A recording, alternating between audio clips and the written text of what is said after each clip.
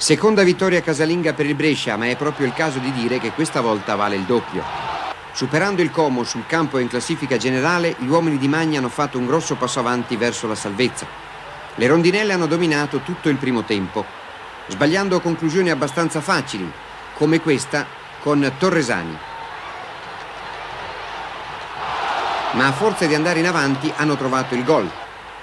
Iachini va sul fondo, mette al centro, Vecchi respinge, Sella serve Di Biasi, tiro in collaborazione con un difensore e palla in rete.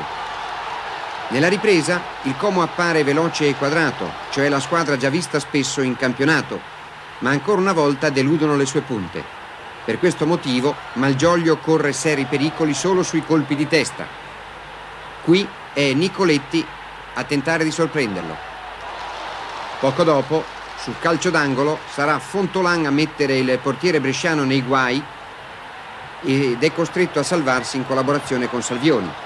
Agli uomini di Marchioro è mancato il tiro per poter sperare nella divisione della posta e alla fine il Brescia ha meritato i due punti di questo incontro spareggio.